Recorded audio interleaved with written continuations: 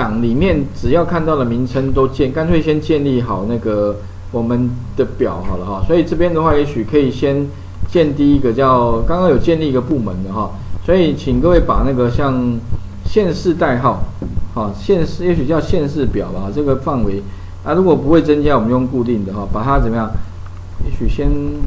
这个范围哈，然后呃这个名称，那范围在下面，这个叫县市表。啊，记得就是那个范围不要弄错了哈。Enter，OK，好，就直接输入就按 Enter，然后呢这边叫分类表算了哈，这边叫分类表。那我先取得它的名称，那底下就这个我们的那个名称啊，先选完，在上面输入叫分类表。OK，所以这边的话，我们名称管理员里面呢就多了三个表哦，分别是那个县市表哦、部门表跟分类表。那建议了哈，因为刚刚蛮多同学就是发生问题的，大部分都是在那个名称跟范围之间的对应关系没对应好。好，如果说你这个对应关系没有对应错的话，理论上应该好，后面在做那个微软函数的抓取资料啊，理论上应该就不会有问题。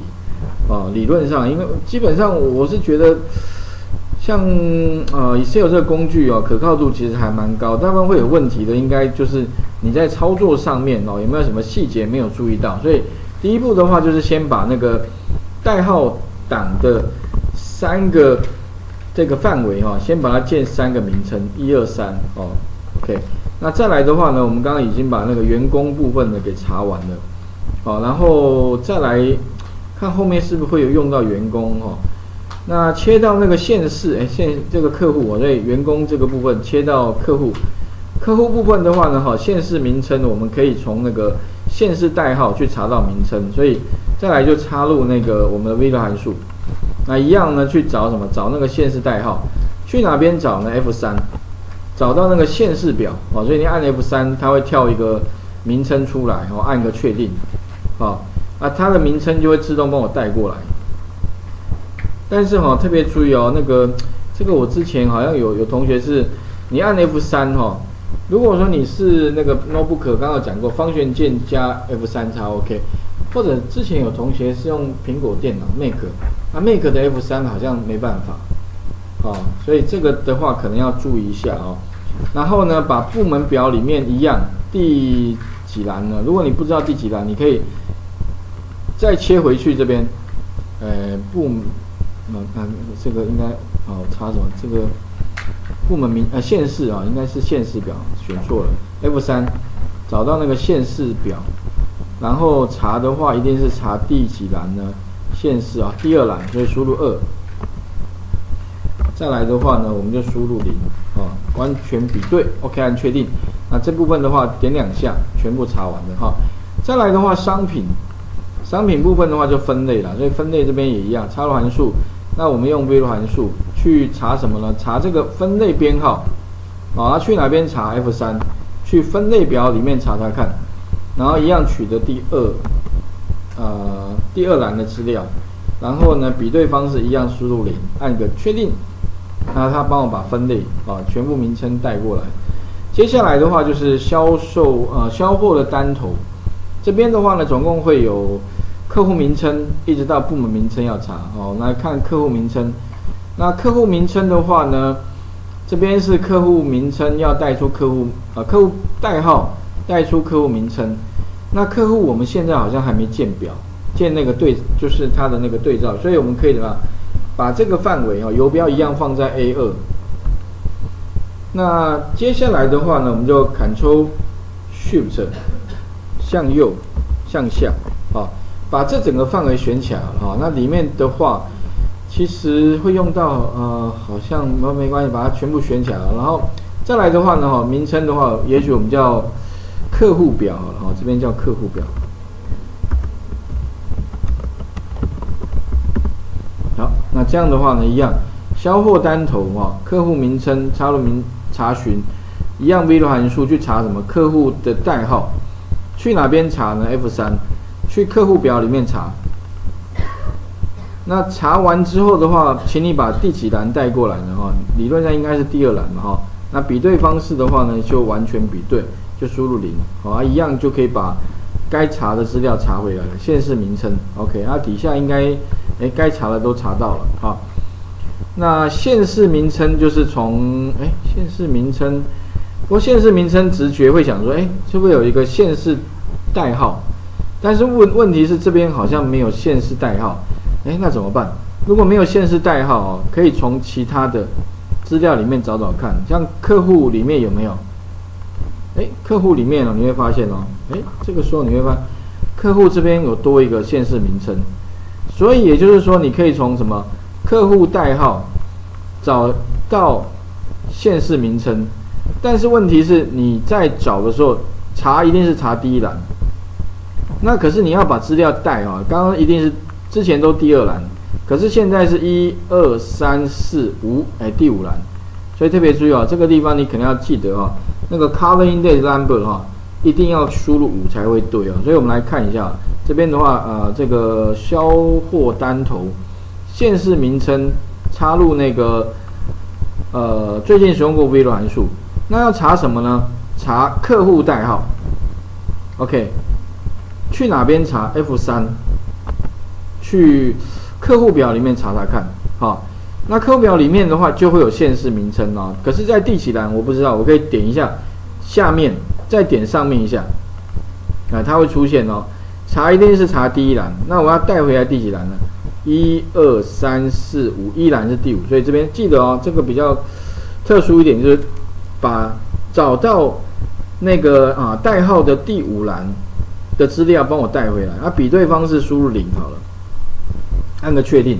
那你会发现哦，哎，一样可以把县市名称给带过来。所以这边的话哦，前面等于是，如果你要针对客户名称去找县市名称的话，那记得就是要多一个一的栏位哦，才有办法把资料给带过来。那再来的话呢，我们就有呃，那员工姓名的话，哎，员工姓名可以从员工代号，所以插入函数里面呢，v 函数员工代号在这里。那 table array 的话，F 三。找到那个谁啊？员工表，所以这员工表目前没有，所以呢，我一样哈，再取消一下，把员工这边哈一样建一个员工编号，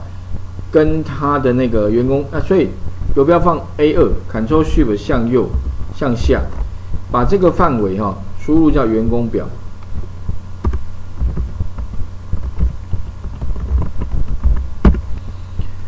啊，这边当然我目前没有预留了，所以未来一样哦。如果你这个员工会增加，因为员工理论上应该会增加了哈，所以你可以预留一下。而我目前是没有预留，以后如果你实际上遇到这样的状况哦，记得要底下可能再多增加名称管理员里面员工表，好啊，记得就是尽量这边可以再让它多一些些。目前是在到九九十八列了，也许你可以再多个十列二，嗯，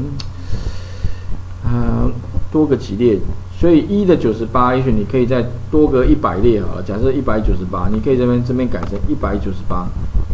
啊，输入完之后啊，这边这边列数哈可以多增加，本来就九十八，好打个勾，它现在就变成什么？变成一百九十八。所以底下以后如果假如还有员工输入的话，它就一直往下到一直到一百九十八都会帮你加到这个员工表里面，所以才查得到。不然的话，以后你如果忘记这这个动作要注意的话，那。只要有员工先新增进来，你就会查不到，好，所以这一点可能要注意一下啊。名称定义可能要注意到，就是有关那个资料新增的问题哈。然后再来的话，这个员工姓名插入函数，